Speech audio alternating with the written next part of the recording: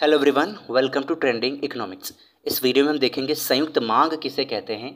इसे इंग्लिश में joint demand कहा जाता है और ये अर्थशास्त्र का एक कॉन्सेप्ट है, ठीक है? आप कह सकते हैं अर्थशास्त्र का एक टॉपिक है, ठीक है?